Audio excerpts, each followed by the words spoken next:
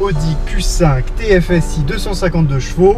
On n'a pas eu l'occasion de l'avoir sur essai libre, je voulais justement l'essayer, ça tombe très bien. Donc là, on va l'essayer sur route. Euh, présentation Virtual Cockpit, tablette qui n'est pas... Elle est, elle est fixe, elle est là au-dessus de la ventilation. On retrouve un peu le même panneau de climatisation que dans le Q7 qu'on a vu juste avant. Et là, je vous propose qu'on y aille directement en mode dynamique. On repart euh, par là, Martin? À droite. ouais. À droite. hein. Ici, dans ce modèle Q5, on a l'affichage tête haute. Je sais pas si ça passera bien à la caméra, mais on le voit projeté dans le pare-brise directement. Panneau de limitation de vitesse, affichage du kilomètre heure. Bon, ça c'est sympa. On va voir ça. On va direction Albertville. Alors, Continuons en direction d'Albertville, donc tout droit au rond-point. donc là, on est sur un moteur thermique 100%.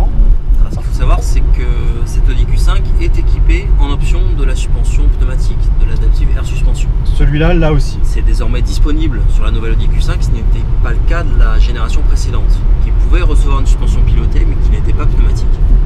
D'accord. Puisqu'on est sur l'Audi Quattro Experience aujourd'hui. Et là, on va faire un brin d'histoire. Le Quattro, la genèse, c'est quand même un modèle de voiture qui était apparu dans les années 80, qui s'appelait Audi Quattro. Le nom a été repris après euh, pour une technologie, hein, le, le 4 roues motrices, qui est apparu, euh, qui est apparu dans la foulée. Et du coup, euh, Audi a quand même gagné des rallyes dans les années 80, je crois que c'est en 82, vous avez gagné des rallyes avec la fameuse Audi Quattro. La première version du Quattro, enfin, c'était du Torsen, ce qu'on appelle du Torsen. Ça régulait le 4 roues motrices entre l'avant et l'arrière, Ouais, mais avec un différentiel central autobloquant. avec un différentiel central autobloquant, pour être précis dans les termes techniques. J'aime ça, Martin, c'est parfait. Euh, pour que les gens comprennent bien, parce que le Quattro, dans la tête des gens, Quattro, bah, c'est bon, j'ai une 4 roues motrices. Mais vous allez comprendre qu'il y a vraiment différentes technologies et que c'est assez, assez pointu. Donc, le premier, c'était le Quattro à Torsen avec le différentiel autobloquant central. Euh, ensuite, dans l'histoire de chez Audi, il y a eu ce qu'on appelle le Quattro Aldex. Et là, c'est quelque chose qui est apparu en 1998, notamment sur l'Audi TT. On va être sur du 4 roues motrices permanente, Ouais. si ce n'est que le pourcentage peut varier en fonction des conditions. Mais même en conditions d'adhérence normale, Il y avait quand même une répartition, sur du roues. 4 roues motrices permanente. Même Ouais. si le pourcentage vers l'arrière, par exemple, est moins élevé, Ouais. il y aura toujours euh, un pourcentage présent au niveau des, des roues arrière notamment. D'accord. L'avantage de l'Aldex à l'époque, c'était qu'il était moins contraignant à installer, il prenait moins de place, la voiture consommait moins. Par contre, l'inconvénient, c'est qu'on ne pouvait pas avoir plus de 50% de passer à l'arrière en motricité, je crois. C'était sur les premières générations euh, Ouais. cas. Ouais, ouais, ça a Et- évolué depuis. Un peu plus tard, on a eu, alors je vais l'appeler comme ça, je ne sais pas si c'est toujours vrai, mais le Quattro Sport, où là, on a introduit encore quelque chose de différent. On a mis un différentiel supplémentaire sur un même essieu de roue. C'est-à-dire que chaque roue était indépendante, gérée électroniquement et indépendante en fonction de la perte de motricité. S'il y a une, une roue qui perd de la motricité euh, à l'avant gauche, on en met plus sur l'avant droit. Oui, ça. cette là, ça va être le, le blocage électronique de différentiel qui va Ouais. rentrer en action à ce moment-là.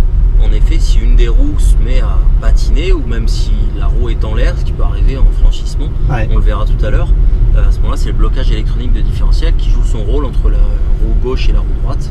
Il va être capable de freiner la roue qui patine, bien sûr, pour Ça, envoyer suffisamment de motricité sur la roue qui a plus d'adhérence. Exactement, donc ça c'est fort. C'est-à-dire qu'il n'y avait plus le différentiel avant-arrière, il y a aussi celui droite-gauche finalement. Exactement. Et chaque roue gérée indépendamment. Exactement. Ça c'est très fort. Et dans la dernière version, on en arrive à la quatrième version pour moi, c'est le Quattro Ultra. Ultra va être vraiment dédié à l'efficience. Ouais, euh, puisqu'il sera capable dans certaines phases, lorsqu'on n'a pas besoin d'avoir quatre roues motrices, ça. euh, il sera capable de euh, désaccoupler euh, les roues arrière. Ouais. Le véhicule passera donc en 100% traction et pourra donc permettre bah, d'économiser évidemment C'est quelques- ça. C'est surtout pour les économies de carburant. Tout à fait. Ouais. Tout à fait. C'est-à-dire qu'on peut rouler en deux roues motrices quand la voiture n'a pas besoin d'avoir quatre roues motrices. Elle roule en deux roues. Exactement. Efficience, économie, comme tu l'as dit Martin, effectivement. Exactement. Donc là, on est sur la dernière version du Quattro qui est, paru, qui est apparue en 2016, euh, si je ne m'abuse, sur les A4, A5, Q5. Ouais. Q5 est équipé. Et donc, celui-ci est équipé d'un Quattro dernière génération, Quattro Ultra. Bah, dans le Q5, on retrouve euh, toutes les qualités qu'on avait vues dans le, dans le Q7 e-tron, hein, c'est-à-dire que c'est bien suspendu. Franchement, il n'y a, pas grand-chose à dire là-dessus. hein. Ça tient tout aussi bien la route. Il n'y a pas de siège ventilé, il est chauffant, mais pas ventilé. Il est là normalement. Ouais. Mais on retrouve exactement le même panneau de clim. hein. Ça, c'est intéressant. Il est, il est vraiment pas mal ce petit panneau de clim. Ça fait très qualitatif, je trouve. Le clic. Si caractéristique là chez vous. Moi, j'aime beaucoup le Virtual Cockpit hein, parce que c'est très lisible à la carte. Et euh, ça imite bien les aiguilles hein, quand même. Dans le déplacement, euh, il y a presque une aiguille. hein. Alors c'est pareil, le TFSI, euh, bah, il est encore silencieux. Hein. On n'entend pas brailler plus que ça. C'est toujours bien insonorisé, avec des bons moteurs efficients. Pas grand chose à dire qu'on a moins l'habitude, c'est ce qu'on va voir après, c'est le quattro. Parce que on s'imagine pas que ces voitures telles qu'on les voit là, euh, ce qu'elles sont capables d'engranger et d'aller crapahuter là dans des endroits euh, un peu euh, incongrus, mais pour aller faire du tout chemin et, et du tout terrain. Moi j'aime bien quand c'est factuel. Ça. Et là on va en avoir du factuel, je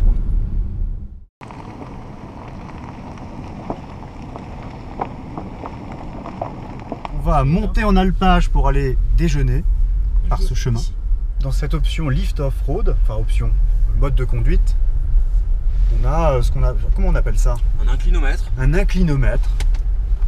Et après, du côté droit, Avec une zone rouge, on ouais. a le choix entre avoir la position du véhicule, donc l'altitude, une boussole, Ouais. latitude, longitude, ou éventuellement, ça nous servira plutôt tout à l'heure, les angles maximum atteints par le véhicule ainsi que l'angle au volant. Donc ça, c'est les angles maximum qui ont Ah été oui. atteints depuis qu'on a mis le contact. Là, c'est du vrai tout-chemin. Là, on n'est plus sur du goudron confortable. hein. Ah bon, là on est sur la Voilà, on commence à rentrer dans le vif du sujet. C'est intéressant. Bon, tout à l'heure, ça sera encore plus. Voilà l'avantage de ces véhicules SUV quand même, c'est d'avoir une routière hors pair silencieuse, confortable, mais en même temps, on peut aller euh, sur tous les chemins, et même les pires, parce que là, on va dire qu'ils soient terribles. Pour autant, on reste dans le confort.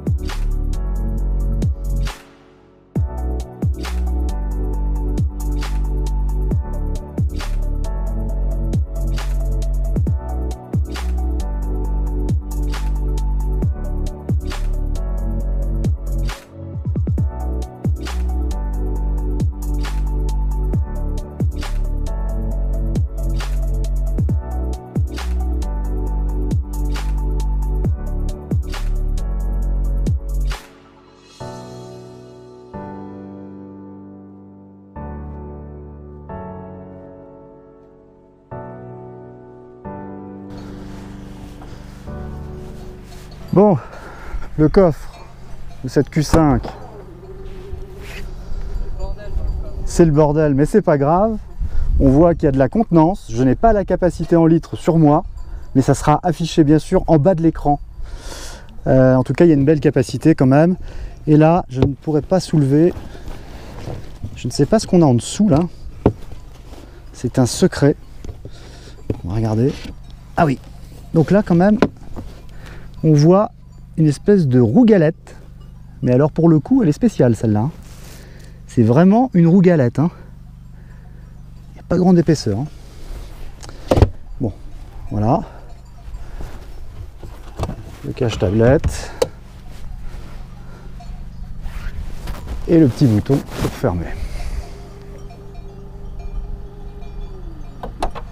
Allez, on va regarder le compartiment moteur de cette Q5 TFSI 252 chevaux avec ici du bon vérin comme on les aime, un double vérin. Donc voilà, le moteur essence TFSI 252 qui remplit bien le compartiment. Avec un cache plastique, on voit plus grand chose. C'est toujours intéressant à montrer. Bon, il, a évolué, euh, il a évolué en douceur, mais la face avant est quand même sympa avec cette single frame. Allez, on referme.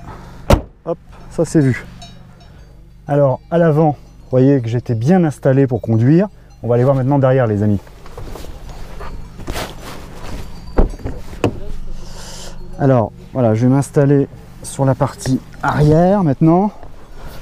Écoutez, ce Q5, il a un format familial et on le voit là, mon mètre 88 passe sans problème, les fauteuils sont creusés, on y voyage confortablement.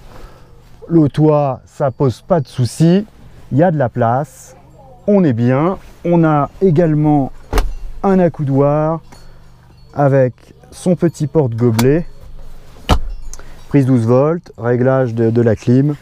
Et la vue ici où je trouve toujours la tablette un peu mal positionnée par rapport au Q7 où elle rentre dans le tableau de bord.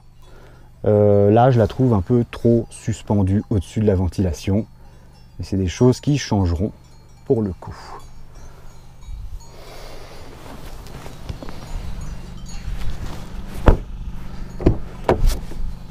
Plastique moussé qui va bien sur ce Q5. Belle finition, comme d'habitude chez Audi les amis. C'est toujours un vrai plaisir.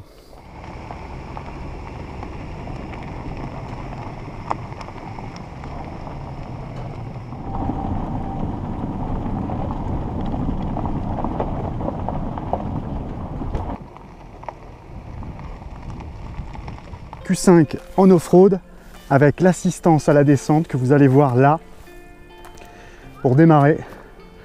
C'est-à-dire qu'on lâche le pied du frein et la voiture gère toute seule. C'est impressionnant pour l'avoir vécu.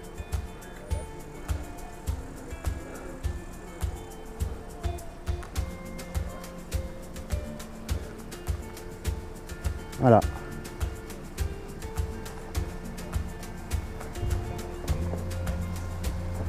Géré automatiquement par la voiture. Elle optimise tout. Avec Martin au volant, notre cher instructeur, qui nous fait l'honneur de cette démo Q5.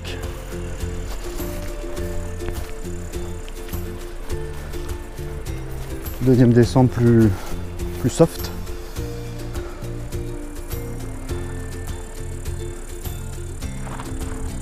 Excellent. La motricité de cette voiture, voyez comment ça gère avec ce TFSI 252 chevaux qui n'a aucun problème à gravir ça. Elle est un peu plus importante qu'après. Et comme la voiture va pencher, regardez, tranquille, et bien haute. Et après on redescend en braquant doucement.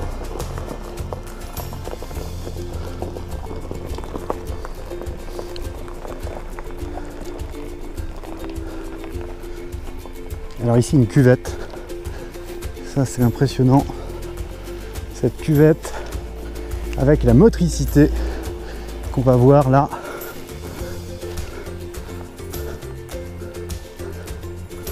Et surtout en montée qui est, qui est assez euh, impressionnante. On va voir ça. Allez. Oh là là. Comme ça passe tranquille. Une facilité. Allez, on va voir les roues indépendantes ici. La gestion du quattro en roue indépendante sur le même essieu.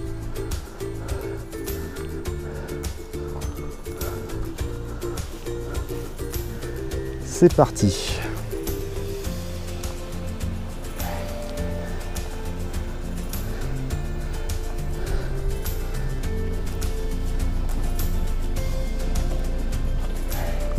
Ça flotte dans les airs.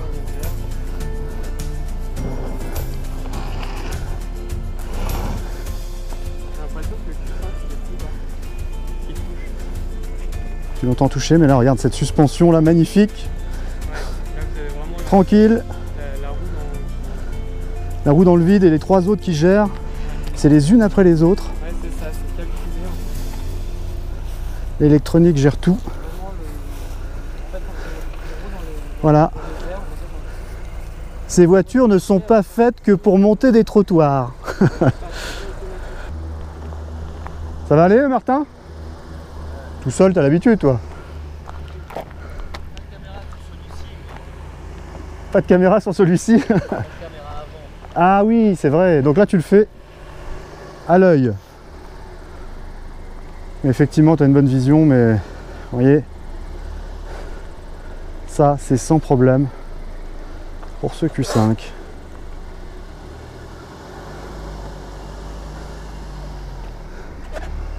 C'était le dernier passage officiel de cette Audi Quattro Expérience avec Martin. Bravo, merci. Au top. Au top, Martin. Non, non, on va le faire à pied. Ouais, on va marcher un peu. Merci. Q5 TFSI 252 chevaux, l'efficacité off-road réincarnée là franchement c'est bluffant de démonstration. Les amis cette vidéo avec ce Q5 TFSI 252 chevaux s'achève ici. J'espère que vous aurez apprécié. Si c'est le cas, faites-moi plaisir, ma seule rému c'est le pouce bleu dans ce sens là. Donc n'hésitez pas. N'hésitez pas également à aller voir ma chaîne YouTube avec les différentes playlists, signatures lumineuses, essais détaillés, paroles de proprio, entre autres. Et puis je vous dis à très bientôt pour de nouvelles aventures. Et surtout, vivez votre passion les amis, c'est le plus important. Ciao Bon là c'est toujours limité à 50, donc euh, on va rester calme. On doit de respecter le code de la route. On dirait Dominique Chapat là, arrête tes conneries. Ah bon il dit ça Dominique Chapat? Maintenant, maintenant, oui.